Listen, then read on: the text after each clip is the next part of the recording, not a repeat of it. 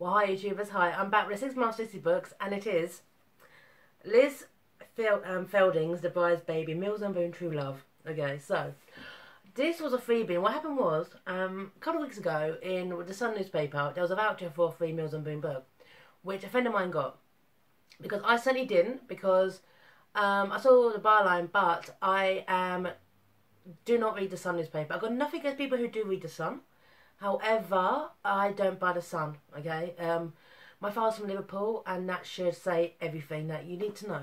Okay, that should that says everything. So, but she got the book, didn't like it, so she's passed it on to me. And there was a voucher in it for a free book, for a half price book, which I did actually take up on. This was a free book in the Sun newspaper. Okay, so The Bride's Baby by Liz Fielding. The bride everyone is talking about. Sylvia Smith is organising a glittery fundraiser event, a wedding show in her ancestral stately home. She has even been roped into pretending to be a bride, except she's five months pregnant, and her baby's secret father, Tom McFarlane, is Longbourn Court's new owner. So basically, Sylvia, Sylvia Smith was born to poshness, lost poshness, lost her stately home, okay? Yeah, for some reason they're still considered posh by pretty much everyone, okay?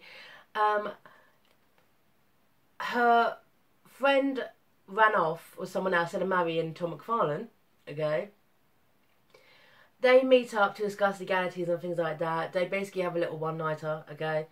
Um, she gets pregnant and it's so, so stupid. So instead of getting in touch with him saying you're gonna be a daddy, you don't want to get involved, even though he's a goddamn billionaire, okay? But she's like a, a hardworking um, She's a hardworking woman of the world. She's independent woman, okay? Um, she writes him a letter. He doesn't get it. He, he thinks he's getting married to someone else. Okay, like this, this what happened after, after, okay?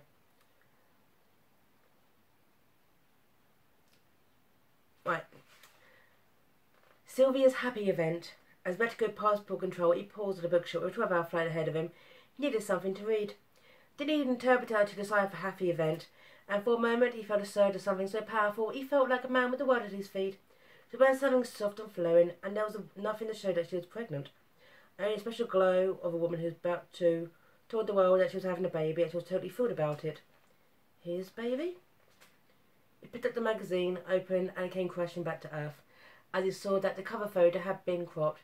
Inside the same photograph showed that she was posed with a tall, fair-haired man, and the caption read, our favourite events organiser, Sylvia Smith, who has just announced that she's expecting a baby later this summer, pictured here with her childhood friend, the recently divorced Earl of Merchester.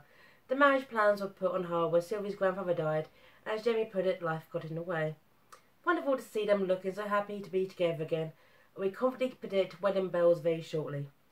Oh, so basically Tom doesn't realise the kid's his, because a magazine called Celebrity, which everyone is obsessed with. Oh yes, everyone is so obsessed with this magazine that, here we go. It's to do with Sylvia's mother's charity. Okay, uh, basically Sylvia. It's what here. Sylvia is estranged from her father because her father is gay, and after her mother died, he moved away to be, you know, with his one true love. Okay, and she's just estranged from him. Okay, but Celebrity Magazine comes in again. This is um about her mother's charity. It was about raising the profile of a charity that her mother had founded, a chance to show a national audience that what they'd achieved Maybe even encourage other women to set up branches in other areas to help decide other organisations had to grow or die. About giving local artists and craftsmen a national stage in which to air their talent. And it was for her too, if he's into hide. Actually, Laura, it's not enough. What isn't enough? The fee celebrity offering you it isn't enough. Isn't it? Laura asked, surprised out of disapproval as she was thrown on the defensive. I thought it was very generous. Sure, they told you that. But for this feature, they pay twice that. Oh yes, basically a celebrity offering so much money, so much money for this magazine, and essentially poor Sylvia, who's got a bit of a stutter, be a bit shit really. His name's Sylvia Smith, and you've got a stutter, okay?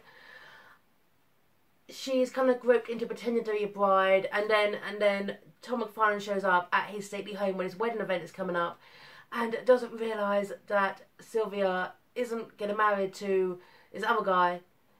It's all pretend, and he's carrying his baby, and he doesn't actually know that It's so goddamn ridiculous. I just read this book laughing. I just read this book laughing, okay? How two people, two intelligent people, can be so goddamn stupid. Sylvia's like a martyr to her own mind. It's kind of like, even though you're a billionaire, and even though you uh, basically don't have a family of your own, maybe you may want a family to get involved, I'm going to do it all by myself because I'm a single, independent woman and I don't need your money. You know who's a goddamn billionaire and owns, and owns her stately home? I was like there thinking, Sylvia, did you get knocked up intentionally? Did you seduce this guy intentionally to get knocked up, to get your stately home back? I reckon you did. And the thing is, if she'd done that, if she'd been, if she'd have been honest about that, that would have made this book brilliant. That would have been a twist on the whole kind of Mills and Boon female victimhood mentality. This would have been the, I purposely said I was on the pill, but I wasn't, and I'm knocked up, and now you have to marry me, and I'm going to get my stately home back, and then I'm going to divorce you, and then I'm going to get the house. Again. Yeah. Now, if that would have been the twist, that would have been the, probably the best bitchy Mills and Boon book going. Because I've read Mills and Boon books where the, the so-called heroines are total bitches.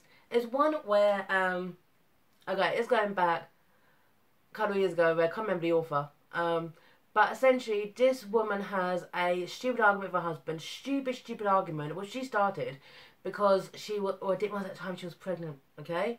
She overheard him making a typical she's doing my head in comment, okay, to her, to, to like his brother, okay? Realised that she didn't want to be around him, okay? And then just took off. And then, like four years later, she's had his son, okay? And not bothered to let him get involved. And when he finds out about this, he turns her around and calls her out on her behaviour, calling her an utter bitch. And she was. But of course, all forgiven in the end, and they get back together. You know, you know, miss out the first four years of his son's life because she actually was a bitch. More Roosevelt characters should be bitches. Here you go. But, but here we go. This is the kind of world that Sylvia inhabits. Here we go. Sylvia watched with certain my detachment as Gina and stuff of in raptures over her great grandmother's wedding dress to wind it from the loft, left it in the loft of her stately home. This is so beautiful, Sylvia, Gina said, examining the lace, the workmanship, French courtier? Undoubtedly, she said. Great grandmother Clementine said that she meant to go on. But it's a dress for a very young bride. She's being nineteen, which man my great grandfather. I agree. I was something much more sophisticated for you.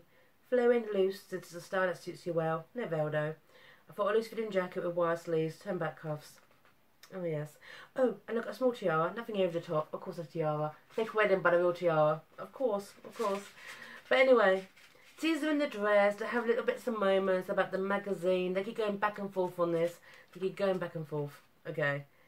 And then Thomas has to basically leave the country because he's done with her. Okay. Meaning, no, he actually fell for this woman because he's just dumb. And then, and then. Mm. He writes her a letter. Oh yes, God. You know how easy this be sorted if people thought about emails. Okay? You know, another one on Facebook. Twitter. Instagram.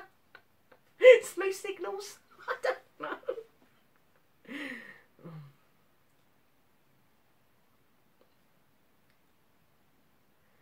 My dearest Sylvia, tomorrow will be your special day. If she actually, he actually finishes getting married to someone else. I know you have your father to support you. I know I can leave you in his safe hands. I'm going away for a while, but not running this time. I need something to do with my life. Something bigger, something real. First, I want to reassure you that you can rely on my discretion. What happened between us will always remain a very special and very private memory. I hope the signs for you tomorrow, and I wish you and Jeremy a very long and happy life. Yours, Tom. Sylvia read the note. Maybe she was tired. Maybe she was emotionally drained. Now that made sense. Yeah, maybe you're so dumb, Sylvia.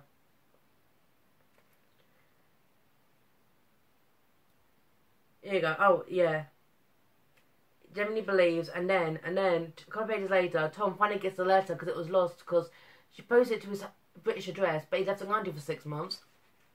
Dear Mr. McFarlane, this is when he gets the letter finally. I'm writing to let you know, as a result of our recent encounter, I was expecting a baby in July. Oh yeah, now how he finds out.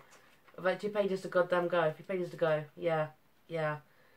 So basically, right, they get back together, they marry each other, and all happy after, and she gets her stately home back. Okay. Oh my god. I read this, but I'm glad I didn't buy this. Okay, if I was to buy a Mills and Boon book, it was a bit more classy than this one.